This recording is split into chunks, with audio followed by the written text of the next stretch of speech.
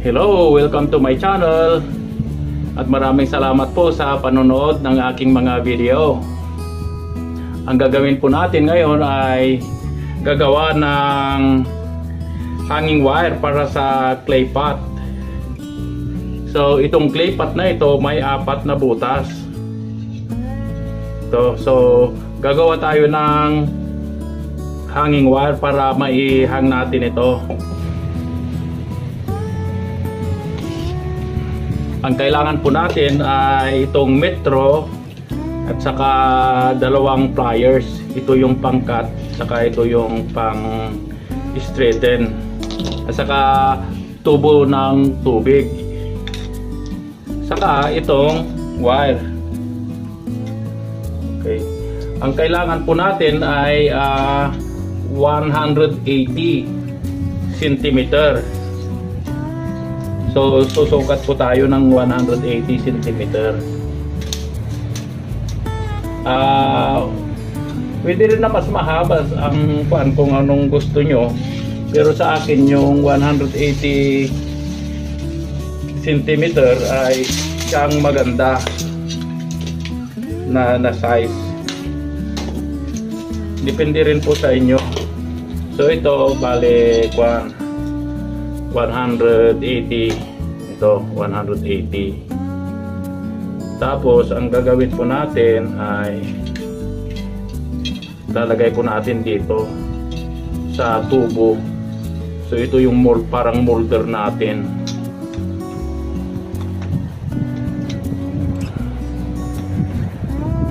Yan.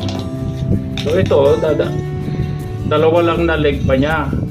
Yun sa para isa sa dalawa pa lang ang leg niya para sa kuan, mga butas. So ah, bali apat na butas ito. So kuha pa tayo ng isang ganito na isang 180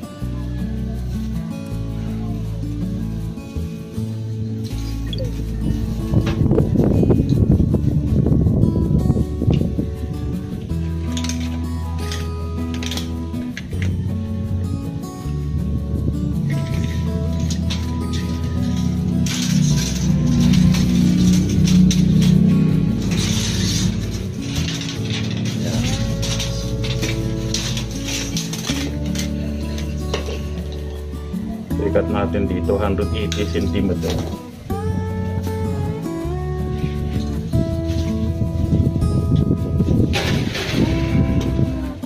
ngayon gagawin din natin parehas sa gagawin din natin parehas doon sa una. Ayan gaganyan natin. Tapos gamitin natin ito na panghigpit. Ayan. So bali apat na po na paa ito para sa kuan paghang ng nitong ito. Pero ngayon kailangan talian natin ito. Itong dalawa na ito. So lalo ibabalik pa rin natin. Ipinakita ko lang sa inyo na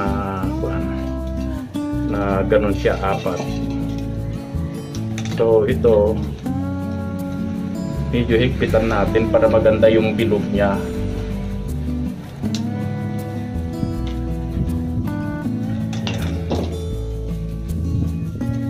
Tapos kukuha tayo ng isa na pang tali natin ng isang maliit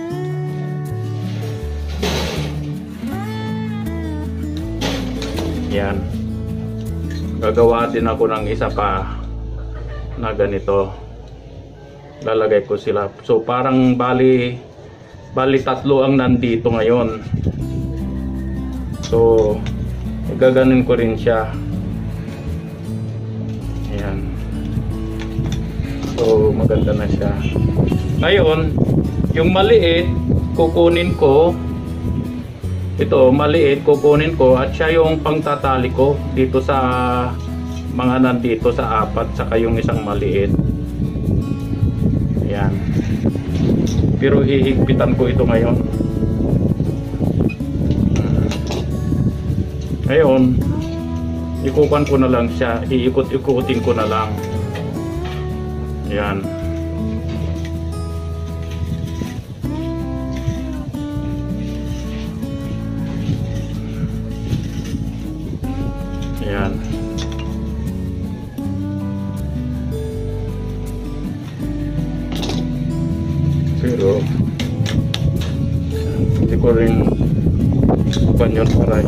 Hindi makasugat. So ito na po siya. Ito po yung kung paano isabit. Pwedeng isabit ito sa pako or may uh, kwan, may hook.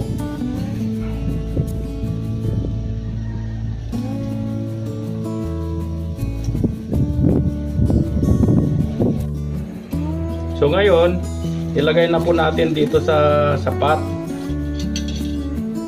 So, bali ito, parang ganito siya eh. Yan, dito siya ipapasok tapos magbe-bend ito. So, medyo ganyan po siya kahaba yung iguban ko. So, ibebend ko itong dalawa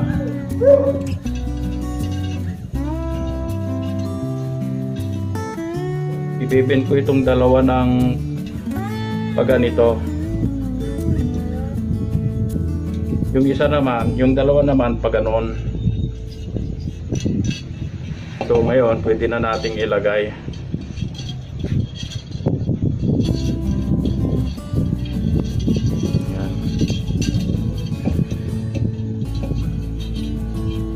So ganyan. Tapos i-ganyan lang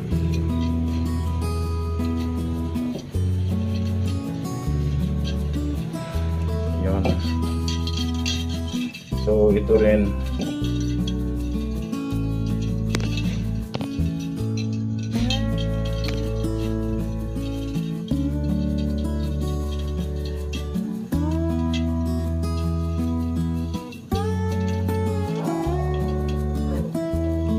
Kung walang butas itong pot ninyo, pwede rin siyang i-drill ng kwan, yung pang-drill ng mga simento. So, ganyan. Tapos iikot lang. Tapos ibaba siya. Yan.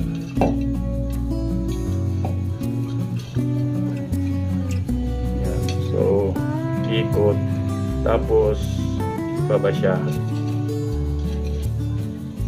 So, ganito din. So, ikot. Tapos, ibaba na siya. Ayan. So, may hanging wire na. Ito siya.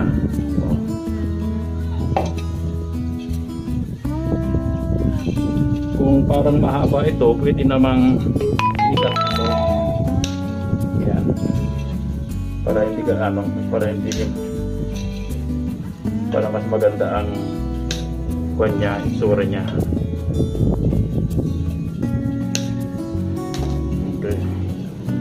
So na pwede nyo ng quantity ng taniman ito.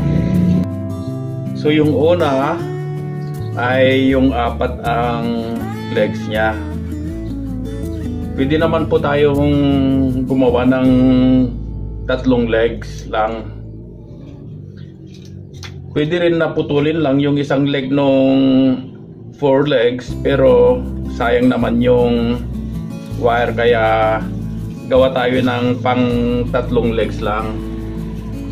So, ang kailangan natin ay yung 180 na centimeter at saka isang kalahati. So, bali 90 centimeter plus kunting sobra. Itong sobra, ito po yung gagamitin na natin na pangtali sa ring niya. Kaya ilalagay natin ito like yung ginawa natin sa apat. Yan, higpitan natin. Tapos ilagay din natin ito yung pangkwan niya. Yung pangtali niya. So, iganyan natin. Tapos, higpitan din natin.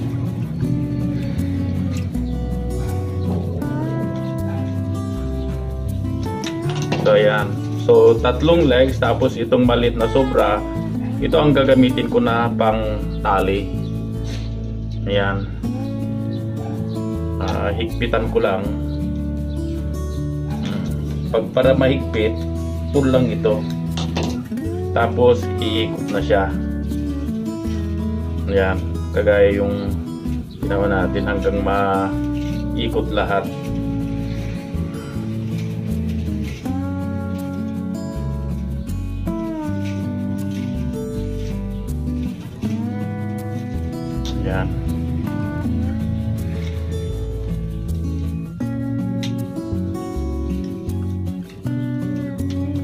So, madali lang.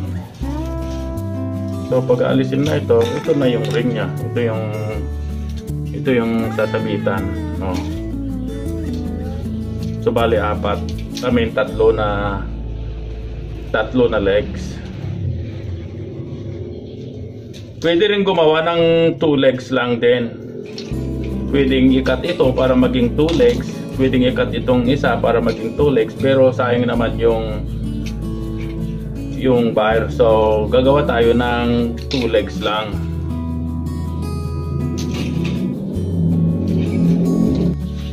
So, ang kailangan po natin sa yung sa 2 legs, yung dalawang legs lang ay isang 180 centimeter at ipapasok pa rin natin dito sa sa tube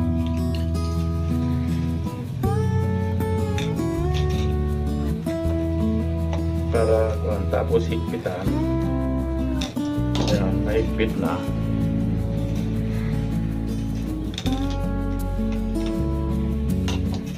Tapos kuha rin ng kuhan yung maliit.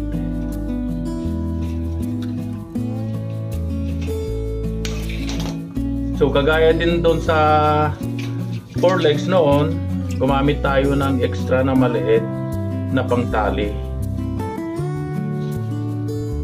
So instead na dalawang ganito, isa lang na ganito na 180 ang kailangan natin. Tapos gagamit ng isang maliit para pantali. Yan. So higpitan ko lang. tapos ikot-ikot na rin siya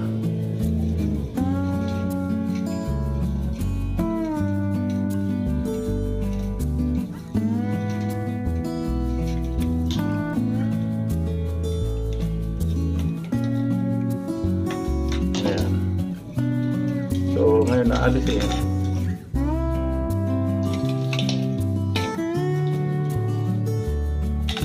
ito dalawang dalawang legs. Tapos tatlong legs.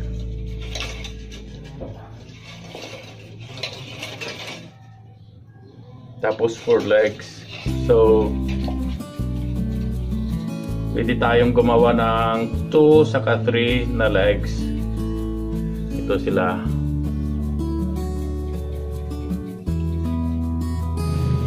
Ito na po yung mga hanging wires na ginawa natin. Ang mga hanging wires na ginawa natin ay pwedeng gamitin sa iba-ibang klaseng pots na gusto nating ibitin. Like ito po, yung itim ay Cattleya pot. At pwede, pwede rin po nating ibitin. Ayan. At itong dalawa ay mga dendro na orchids na inilagay ko dito sa clay pots na pwede ring ibitin. At itong isa din, pwede rin ibitin itong plastic. Ito galing po sa 2 liter na soda. Pwede rin siyang ibitin. Gamitin yung hanging wire na ginawa natin. So yan lang po ang paggawa ng hanging wire. At sana po pag nagustuhan ninyo, paki-like and share itong video ko. At sana po ay mag-subscribe din po kayo pag hindi pa kayo nakapag-subscribe para mapanood nyo pa yung mga upcoming videos ko. Salamat po at sa ulitin. Bye-bye.